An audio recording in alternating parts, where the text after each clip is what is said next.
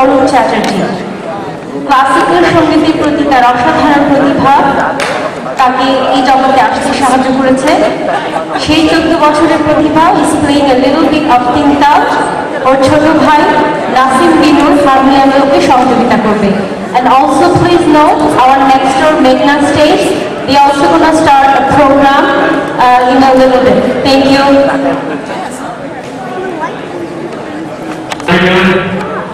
नमस्कार।